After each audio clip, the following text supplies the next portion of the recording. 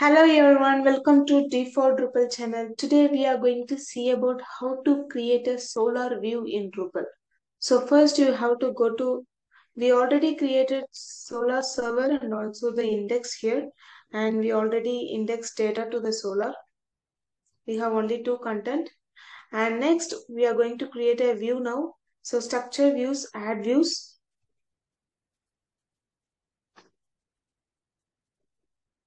Here it's a Solr view.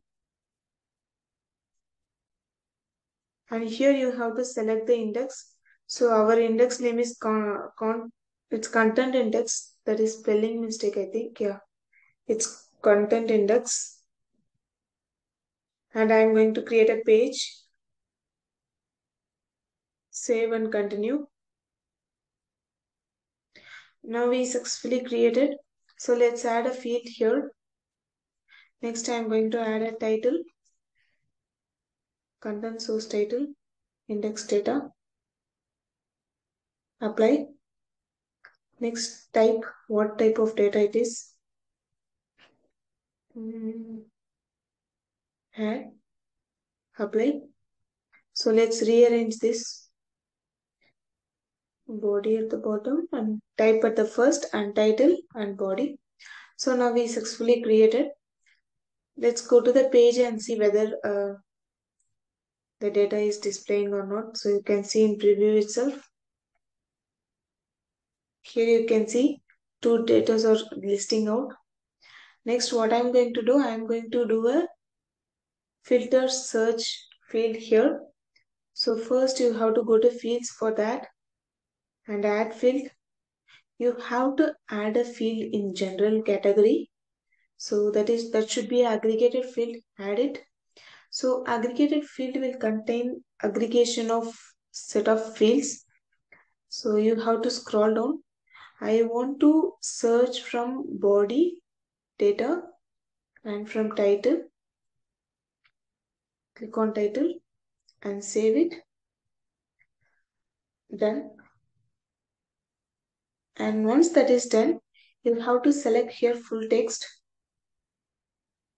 and save it. Now we successfully created a full text field here. One, whatever you are doing changes in this indexing, you have to re-index it, then only it will work. Now you can see the index option is enabled since we made changes in the fields. Index now. Now we successfully indexed two data. Go here and add filter. Here you have to select full text, search, add and configure. Here expose this filter and at the bottom you have to select the field that should be aggregated field which you added now. This aggregated field you have to select it. So I am selecting this aggregated field there and apply. Once that is done, save it and go to your Solr page and review. Reload, sorry. I'm going to search for article.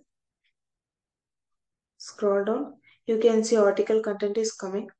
When you search for basic, you can see the data is coming, right? So sample,